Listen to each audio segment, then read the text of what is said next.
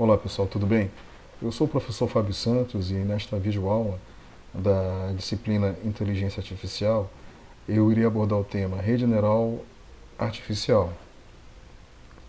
Pessoal, a rede neural artificial é uma técnica de aprendizagem de máquina que foi, que foi criada, inspirada no funcionamento da rede neural biológica do nosso cérebro. A rede neural artificial ela é capaz de aprender a partir de um conjunto de treinamento, a partir de um dataset. E ela é também capaz de predizer a classe de um registro desconhecido a partir do conhecimento que foi adquirido durante o processo de aprendizagem. Ela também é capaz de se adaptar, ajustando-se a uma nova realidade. Normalmente, a rede neural artificial ela é empregada em aplicações de reconhecimento de padrões, como classificação de imagem, classificação de texto, previsão, reconhecimento de objetos, reconhecimento de fala, e é a base da Deep Learning, é a base da rede neural convolucional. O que vocês estão vendo agora é o neurônio biológico, né? um exemplo de um neurônio biológico. E, e aí é importante destacar que os cientistas eles descobriram que o cérebro humano ele aprende alterando a força das conexões sinápticas através de repetidos estímulos. Conforme vocês estão vendo nessa figura, existem alguns componentes que fazem parte do neurônio, dentre eles o terminal sináptico. O terminal sináptico é ele que recebe os estímulos e, e através desses estímulos o cérebro humano ele aprende alterando a força dessas, é, dessas conexões sinápticas, ok? E aí é, essa, é, essa característica do neurônio biológico, essa forma de aprendizado, ela inspirou a criação de um neurônio artificial chamado Perceptron, que é a base da rede neural artificial. Então, o Perceptron ou um neurônio artificial é o tipo mais simples de uma rede neural artificial, porque é, é, é composto, é, é, composta por apenas um neurônio. E, e tem como base um modelo matemático é, que foi criado por é, McCulloch é, Pitt e foi aprimorado por Rosenblatt em 1958. A saída de um perceptron normalmente é 1 ou 0. Ou seja, como o perceptron ele, ele lida com problemas linearmente separáveis, ele tem aí a, a capacidade de separar um espaço de padrões, ou seja, um conjunto de registros de entrada, em duas regiões, ou em duas classes, que é 0 ou 1. Um. Beleza? Essa figura mostra o modelo matemático é, que simula os, os elementos é, e o comportamento de um neurônio biológico. Ok? Então, conforme vocês estão visualizando nessa figura, os principais elementos que fazem parte de um percepto são as entradas, sinais de entrada, os pesos, a função de soma e a função de, de ativação. Os sinais de entrada são os estímulos. Os, os pesos correspondem às, às forças das conexões sinápticas. A, a função soma é uma função é, ponderada é, das entradas com relação aos pesos. E a função de, de ativação, ela define como será a saída, ou seja, é, como será é, realizado a separação do, do espaço de padrões? Vamos entender agora como funciona o Perceptron. Nesse, nesse slide, a gente observa um Perceptron que ele tem três sinais de entrada, x1, x2 e x3, cujos valores são 1, 7 e 5, e tem os pesos correspondentes, W1 igual a 0.8, W2 igual a 0.1, W3 igual a 0. tem a função soma e a função de ativação. Beleza, então a, a, função soma, conforme vocês estão vendo aí, é um somatório do produto das entradas pelo peso. Certo? É, aplicando a função soma nos valores de entrada e, e pesos, observem o valor que foi obtido aí, 1.5, certo? 1.5. Então 1.5 é, é o resultado da multiplicação é, da entrada 1 pelo peso 0.8, mais o resultado da multiplicação 7 pelo peso W2, né, que é igual a 0.1, mais o resultado da multiplicação da entrada 5 pelo peso W3, que é igual a zero. Certo? Cada um, cada uma dessas entradas corresponde a um, a um atributo, né? um, corresponde a um valor de um atributo, de um atributo preditivo. E o y corresponde é, ao atributo de classe. Beleza? Então, é, o, é, o, o, resultado dessa função soma, desse exemplo que vocês estão vendo aí, é 1.5. E aí, é, o, o, resultado da função soma sendo submetido à função de ativação, que no caso do perceptron é uma função bem simples chamada função de degrau, que ela define que o valor de y, ou seja, a saída será igual a 1 se a soma é menor que zero. E será zero se a soma é menor que zero. Repetindo, é, o valor da ativação será 1 se a soma é maior que zero e será zero se a soma é menor que zero. Nesse exemplo, o valor de y é igual a 1. Por que, que é igual a 1? Porque o, o, o valor é, da soma é 1.5. 1.5 é maior que zero, então o valor é, de y, o valor da saída, o resultado da função de ativação é igual a 1. Vamos pegar mais um exemplo para entender? Vamos observar mais um exemplo. Nesse exemplo, houve uma, pequena alteração no valor de entrada de, x1, que é menos 1, certo? Os demais valores continuam os mesmos, os valores de entrada e os pesos. E aí, aplicando a função soma, observe o valor que foi obtido, menos 0.1. Menos 0.1, sendo submetido à função de ativação, o, o, valor que será obtido, o valor de y, a saída será zero. Por quê? Porque menos zero é, menos 0.1 é menor, né? É menor que zero. Então, de acordo com a função de ativação, a função de degrau, y é igual a zero. Beleza? Então é dessa forma que o, que o Perceptron ele funciona. Beleza. E como é que funciona o processo de aprendizagem do Perceptron? Pessoal, é, usa-se um conjunto de registros, um conjunto de registros de treinamento, previamente classificados, ou seja, previamente conhecidos, rotulados, um conjunto supervisionado. E vocês estão vendo aí nessa figura uma tabela do tipo END, que vai servir como um, como um conjunto de treinamento para a gente entender como o Perceptron funciona. Ok? Onde x1 e x2 correspondem aos atributos preditivos e y corresponde ao atributo de classe. E aí, pessoal, de forma semelhante aos, aos neurônios biológicos, um perceptron ele aprende é, ajustando a força das conexões sinápticas, ou seja, ajustando os pesos, certo? O objetivo é ajustar a força das conexões sinápticas, ou seja, dos pesos, de tal forma que produza a saída Y correta para cada registro de entrada. Ok, pessoal? Então, dado como entrada um conjunto de treinamento, como essa tabela END,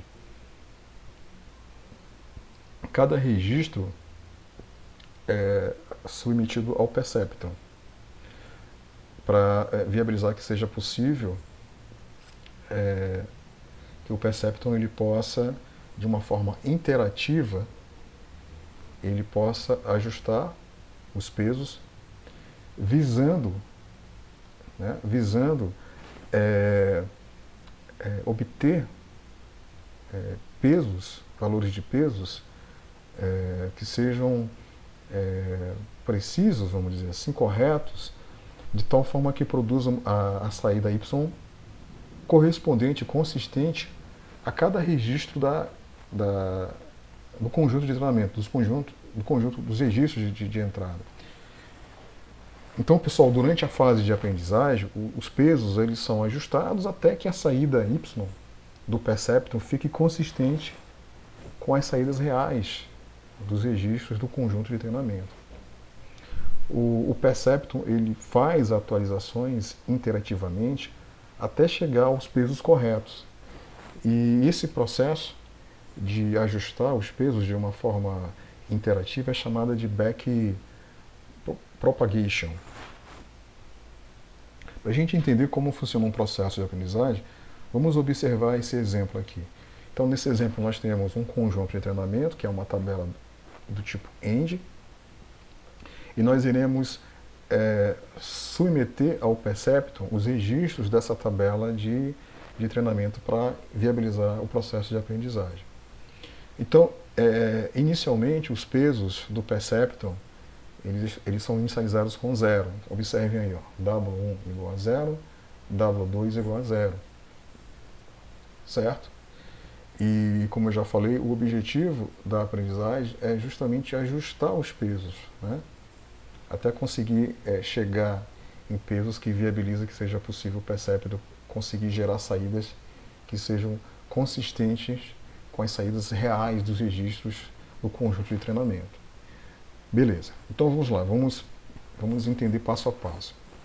É, o, o, primeiro registro, cujo valor de x1 e x2 é, são, são zeros, e o valor da, do atributo y, né, do atributo classe, é zero, observe é, o resultado que foi obtido.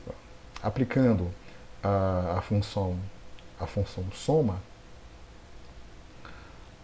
o, o resultado obtido foi zero. Certo? Foi zero. Multiplicando x1 vezes w1 é zero.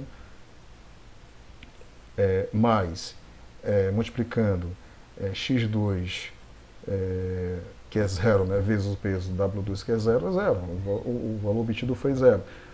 Certo? Aplicando a função de ativação, é, y é igual a zero. Então, observem que o valor que foi obtido, y igual a zero, está correto, corresponde ao valor real, né? corresponde à, à saída y real, que é zero também. Então, isso significa que é, esse peso, né, os pesos é, W1 e W2 estão, estão corretos. E aí, mais um registro vai ser submetido. Nesse registro, o valor de x1 é igual a zero e o valor de x2 é igual a 1. É, aplicando a função soma, o resultado obtido foi, foi zero. Né? E aplicando a função de ativação, o valor de y obtido foi zero, que casa, né, que corresponde ao valor de y real, que é zero. Beleza? Então, novamente, isso significa que os pesos eles estão corretos, não, não, né, não necessitam sofrer um ajuste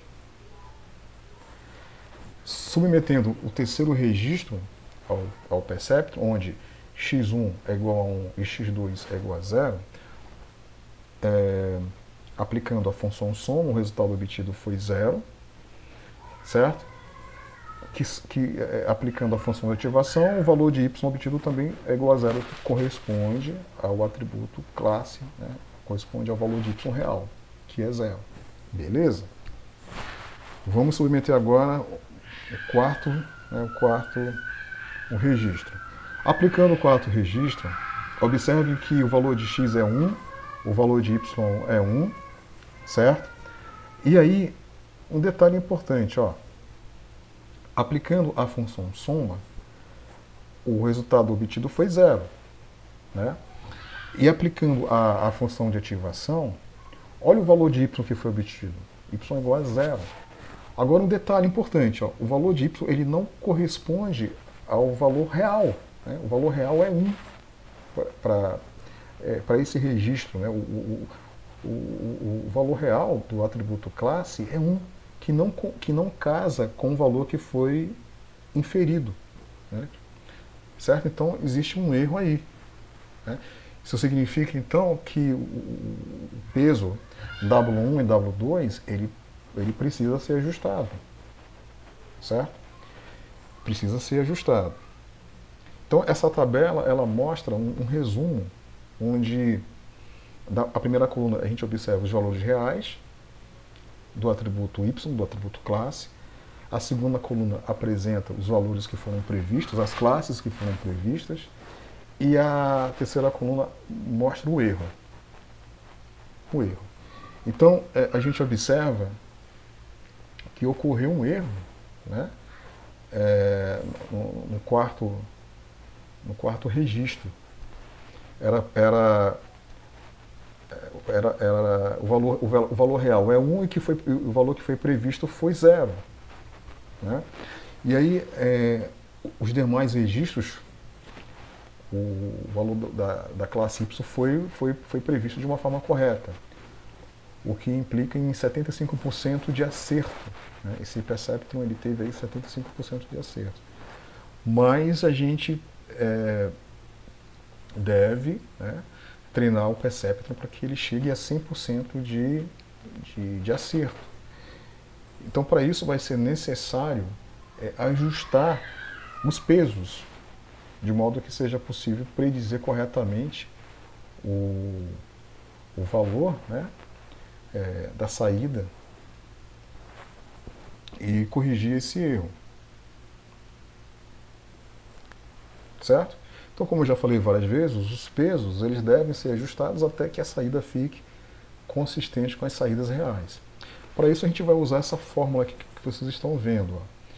É, peso n mais 1 igual a peso de N mais é, o resultado do produto entre a taxa de aprendizagem, a entrada e o erro. Então, peso N mais 1 corresponde ao novo peso. Peso de N corresponde ao peso corrente.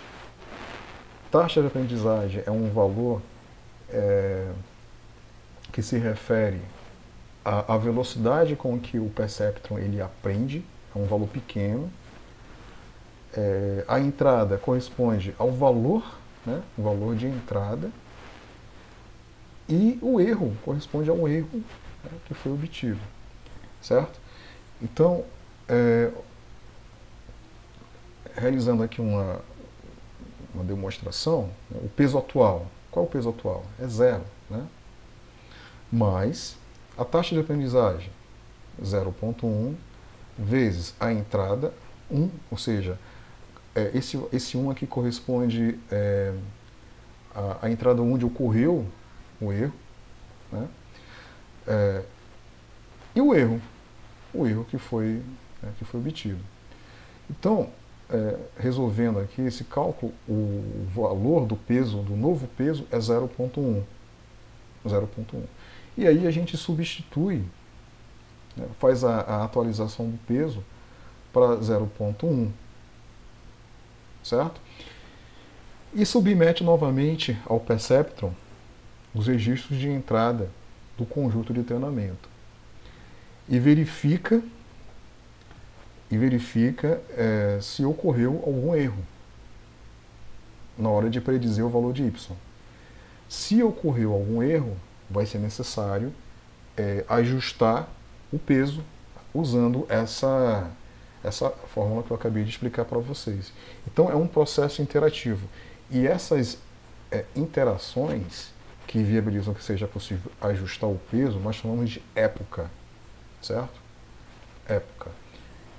Então, é, vamos imaginar né, que a gente tenha definido que esse algoritmo ele vai realizar um determinado número de interações, ou seja, um determinado número de épocas, até é, encontrar um, um, peso é, um, um, peso né, que viabiliza que seja possível é, obter saídas, valor de y, é, que seja consistente às saídas reais, certo? Então vamos supor que, é, que interações tenham sido realizadas e que é, o valor, o valor é, do peso obtido tenha sido 0,5, certo? 0,5. E aí, submetendo ao percepto os registros, os registros é, do conjunto de treinamento, observem, se a gente submeter o primeiro registro, cujo valor de x1 é igual a zero e x2 é igual a zero, aplicando a função soma, o resultado obtido foi zero. E na sequência, aplicando a função de ativação, o valor de y é igual a zero, que casa né, que casa com a saída real. Beleza. Aplicando o, o, o segundo registro, é, cujo valor de x1 é 0 e x2 é 1, e é, aplicando aqui a função soma, o resultado obtido foi 0,5. Na sequência, aplicando a função de ativação, 0,5 né? o valor de y vai ser zero, que casa com o valor real, casa com a, com a classe real. Né? Então, até agora, o peso 0.5 está né, tá, tá funcionando legal.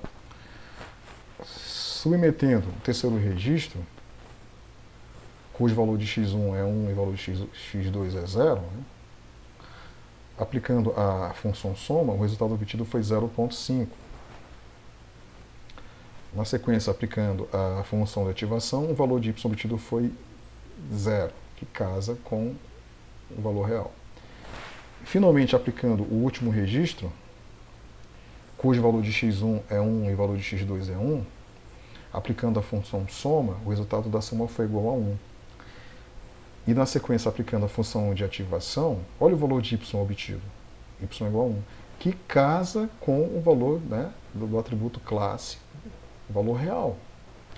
Então, a gente observa, através desse exemplo, que o, o Perceptum ele inteirou, é, é, realizou interações até obter um, valor do peso, que foi 0,5, que viabilizou que fosse possível ele predizer corretamente é, os valores das classes, né, o valor de Y, a saída corretamente.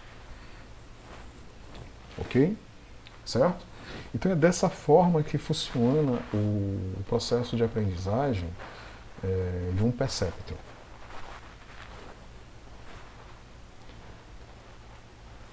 Gente observa aquela tabela que resume, né? e essa tabela mostra que esse perceptor ele acertou 100%, né? 100% de, de acerto, não houve nenhum erro. Beleza?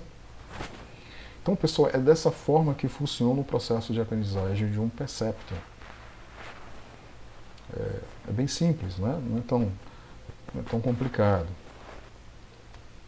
E aí, como, como é de praxe, normalmente eu sempre deixo uma atividade para vocês, eu gostaria que vocês é, tentassem realizar um treinamento de um perceptor a partir de um conjunto de treinamento baseado numa tabela OR.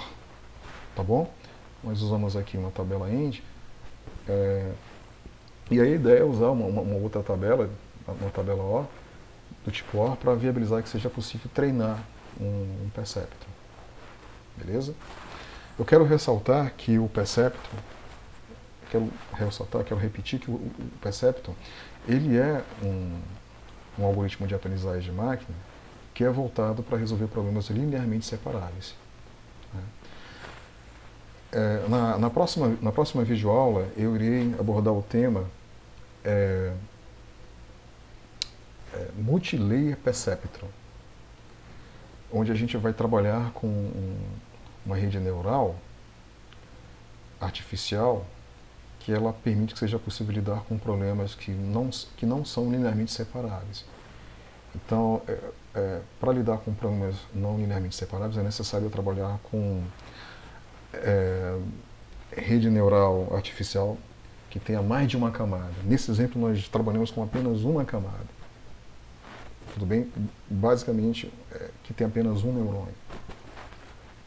Ok, pessoal? Então é isso. Espero que vocês tenham gostado. A gente volta a se ver na próxima videoaula. Um forte abraço.